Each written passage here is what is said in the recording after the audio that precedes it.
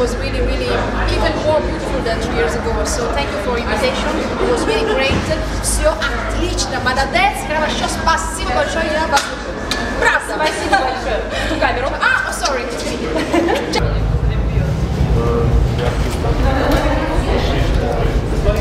the most uh, beautiful thing uh, for this uh, this uh, show? What is the most you like? А- а- How is um, in по-русски? The most beautiful. Самое яркое событие. Боже мой. Если неудобный вопрос, то опустим его. In English, maybe. I, I want in Russian. Um, my, my любли... No. The most, uh, the most I know, no, no, specific- я знаю. I want to make the sentence in А. Russian. Моя любимая. Но м, А, мне понравилось. Может, мне понравятся эмоции. Сегодня эмоции, да. эмоции людей. Окей. Я говорю по-русски, можно? I try чуть-чуть. Мне понравится, очень нравятся э, эмоции. Сегодня это просто большой эмоции. И, и адреналина тоже. Эм, э, Еще один вопрос. Что слышали о России в 90-х? Что слышали о России? What we heard before uh, 19 years in Russia? 19 What, years? what is like 19? Ah, okay. Hmm. Uh, for me, 90s it was uh, colors, and you know the the costume like this, but it was uh, happy music and uh, music full of energy. And uh, I remember the discotheque were full of people, more than today, and it was great time also for me. О, э, Что такое малиновые пиджаки? Что? Э, Малиновые. э, Тогда все. Пожелания э, фанатам российским. Э, по-русски? Нет, uh, for Ah, you speak Russian. Russian uh, congratulations for your people, for your year, for people, uh, congratulations, your congratulations. So, for New Year's Eve and New Year 2017, I wish to my Russian fans and my Russian uh, lovely people uh, the best. Um, so it's love. For me, it's love. The most important thing in the life. Uh, я желаю вас Здоровье, счастья, любви и удачи. На итальянский язык это amore, salute, felicità e fortuna. Ciao. Thank you. Tu? Давай, давай. Yes, еще, еще, еще раз.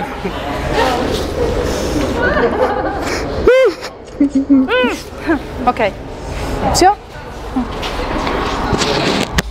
Thank you. You're welcome. No!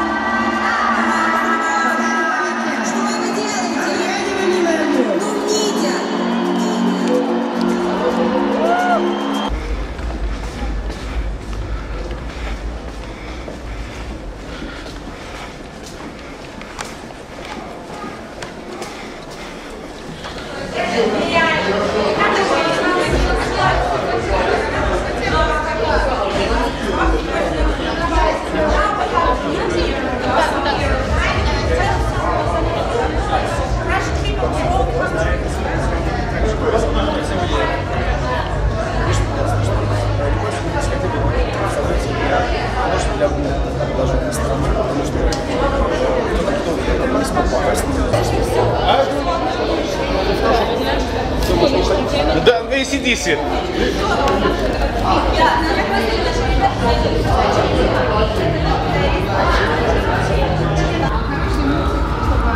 Э, самое яркое событие 90-х. Ну, конечно же, мы должны ответить, что это событие дискотека 90-х. Нет, 90-х. 90-х настоящих. 90-х, которые были. А, э, я понял, так. А Мне кажется, что самый правильный ответ это, э, как сказать, появление группы «Русский размер». Да, точно. Что, э, Собственно, л- это я и логично- хотел сказать. э, Логичный ответ на такой вопрос. Ага, А любимая песня 90-х? Напа- Напойте, если можно. Я, я думаю, что у каждого своя, конечно, любимая песня 90-х, но Михаил Муромов «Яблоки на снегу». ну, это конец 80-х. А я до сих пор ее помню. Главное, переходящий в 90-е, поэтому, ну, может быть, не хотите напевать? Ну, есть такая песня, называется «Ангел дня», мы ее сегодня исполняли уже. Это может быть не совсем скромно, но, наверное, это так. Ну, Чего уж так. за-. Нет, мы петь не будем, это точно. Эй, А, э, а как без соцсетей было вообще? И очень, очень странно. на самом деле и, хоро- и- и хорошо, и плохо. А, Плохо, потому что не было таких возможностей. Хорошо было, потому что если ты хочешь найти друзей, да, ты просто выходишь во двор, они все там. все, они, Да, они, конечно. они все там, все там ждут, все там э, тусуют. Социальные сети, конечно, очень сильно изменили наш мир. А на самом деле социальные сети, мне кажется, что они вообще такой фор- формат дружбы немного они так перевернули, и дружба как э, такая стала уже виртуальная, что ли, я не знаю. Но все-таки настоящая дружба, она всегда остается с нами. Несмотря ни на какие социальные сети. Потому что есть телефон, можно позвонить и поговорить, а не писать вот эти бездушные смс-ки. Именно настоящий. Спасибо Конечно. большое. Пар- А, Самое яркое событие в 90-х. Расскажите о нем. Мне кажется, это невозможно, потому что а, в 90-х было все новое. В 90-х был полный вот полный вы- выем мозга и вложение абсолютно другого ощущения и мировосприятия, потому что началась эпоха фестивалей, началась эпоха совершенно другой музыки. А, ну, все, все поменялось тогда, в 90-х. Да, по- появлялись новые, открывались, зажигались звезды. Да, ну, я не знаю, Илюш, у тебя как- какие ощущения с 90-ми? А, я в первый раз пошел в школу. Это было невероятное ощущение.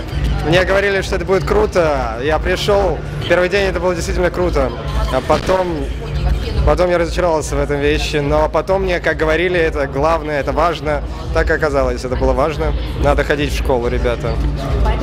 У тебя, Настя, Я тоже пошла в школу. в 90-х. 90-х. Окончила садик. Окончила садик. С отличием. Да. Вот, а я начала свою творческую карьеру, ну, правда, не в девя- в 97 году, и первый раз вступила на большую сцену, причем абсолютно не собираясь этого делать.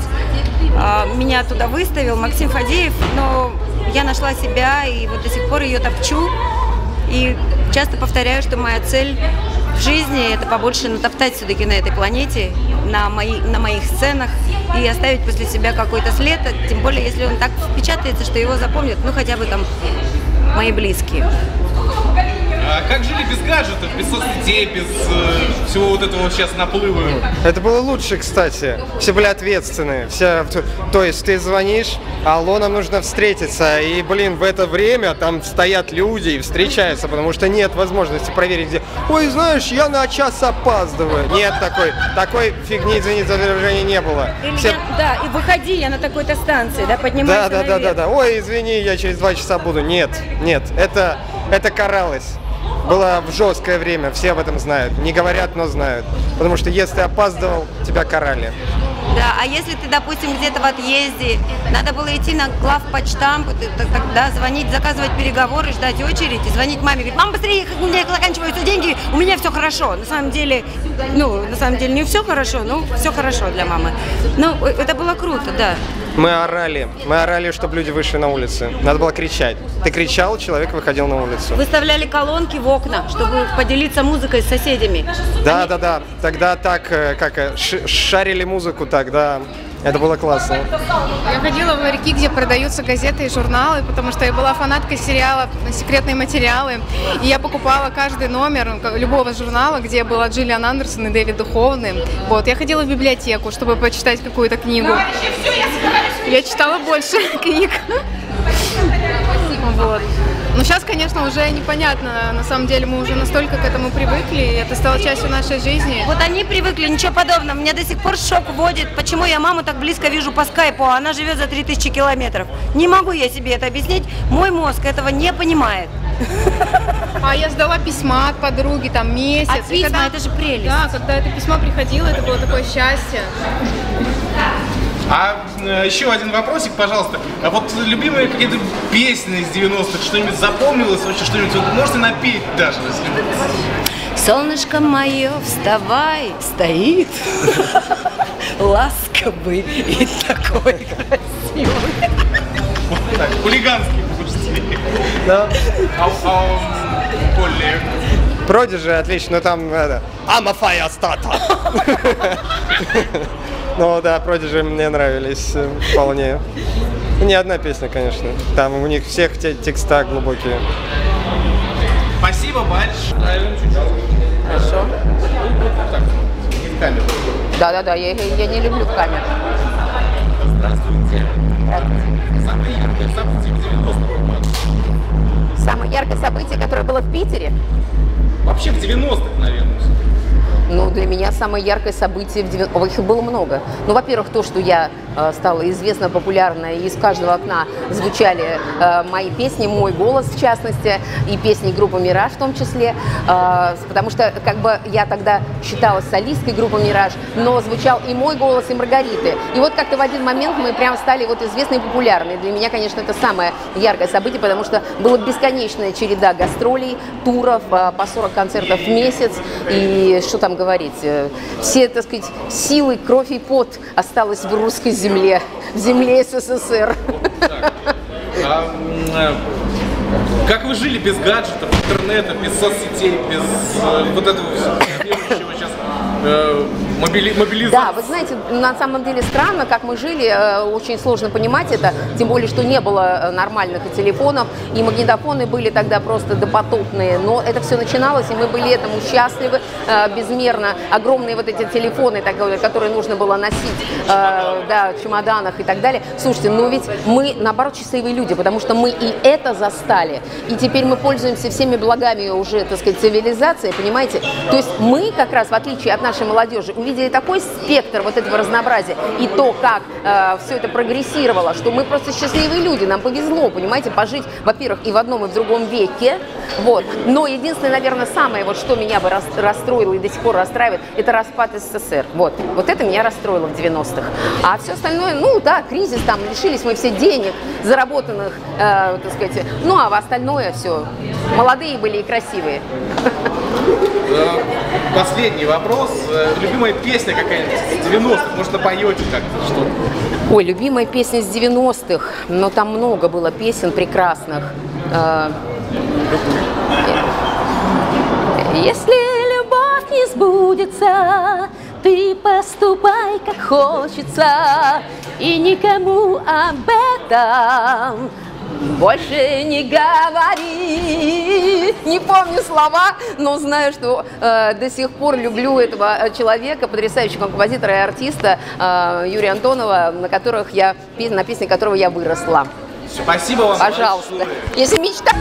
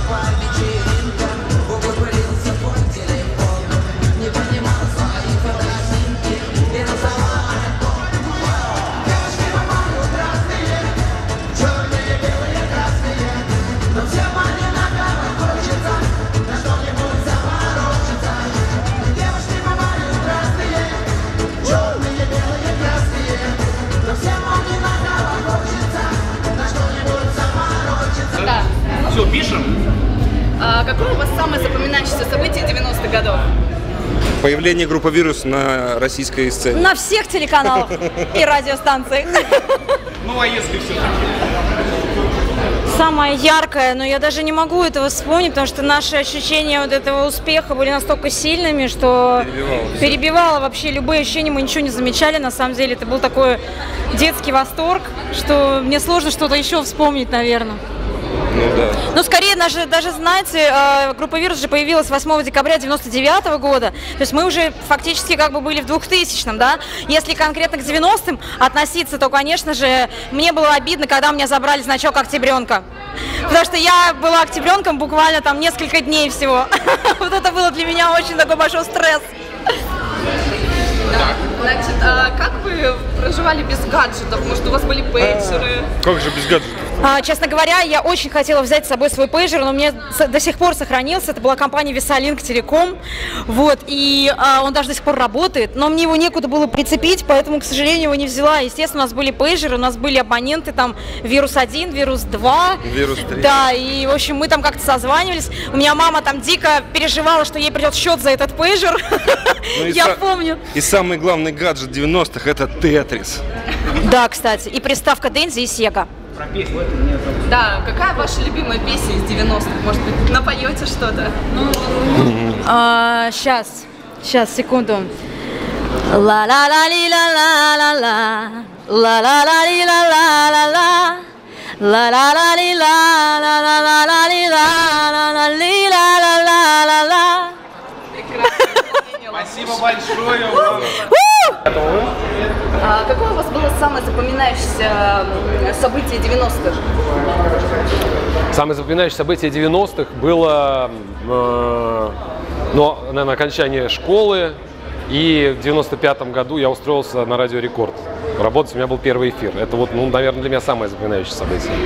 Как вы обходились без гаджетов? Может быть, был пейджер?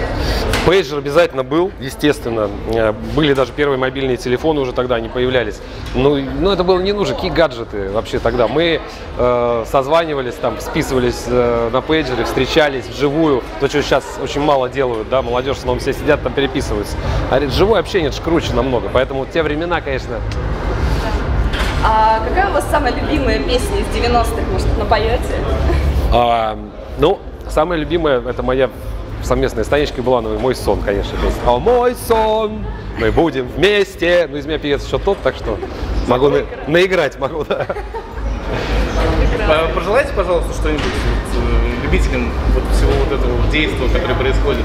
Дорогие э, любители хорошей танцевальной музыки, вот э, на самом деле, действительно, я смотрю в зал, поскольку уже я не первый год э, миксую супердискотеку 90-х, я вижу все больше и больше молодежи. Я понимаю почему, потому что та, те мелодии, те красивые песни, которые были в 90-х и в 2000-х годах, сейчас их уже практически нет.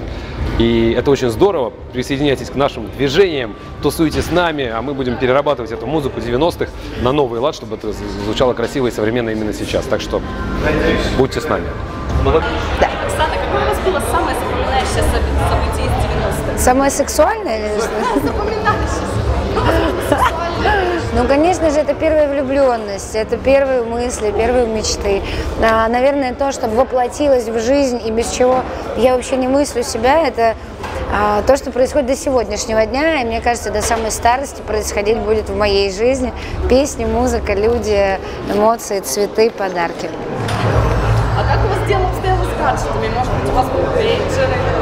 Конечно, меня сегодня спрашивают, а вот мобильный телефон, вот у вас лично, какой у вас был? Я говорю, с, ума сошли, какие мобильные телефоны? Мы были детьми, и, конечно же, не каждый взрослый имел мобильный телефон, не говоря уже о детях. Конечно, это пейджер. Я помню, как радовались маленьким пейджером а, однострочным. У меня был Motorola Advisor, а, четырехстрочный, неубиваемый абсолютно, который, если падает, если у кого-то падает пейджер, все его э, ну, ну, очень быстро пытаются поднять, потому что ну, как бы это логично. Я могла себе позволить хулиганить и вообще пинать его ногой, и все говорили, что ты делаешь? А я знала, что он просто неубиваемый. Ему все равно. Какая у вас самая любимая песня из 90-х? Может быть, напоете? Кислотный диджей. Может быть, напоете? Может быть, я чуть-чуть поэкономлю связки хотя бы сейчас. Пожелайте, пожалуйста, что-нибудь фанатам сегодняшнего действия. Друзья, друзья, всегда оставайтесь а, добрыми в душе, потому что в 90-е не все были добрыми, скажу вам точно. И многим приходилось доказывать и выгрызать просто свое место под солнцем. Поэтому будьте а, еще добрее, чем, чем были. А, будьте, честно говоря, наверное, а, все-таки честными и искренними оставаться нужно всегда. Может быть, я такой слишком правдивый человек, что мне нечего и не от кого скрывать, и поэтому я такая с легкостью, знаешь, говорю об этом. Но хочется, чтобы мы, во-первых, не старели, а это значит, что мы должны действительно искренне дарить друг другу тепло, эмоции, чувства, любовь. Не замерзайте, сегодня зима, так что грейте друг друга и дарите друг другу цветы и только позитивные эмоции. Благодарствуй.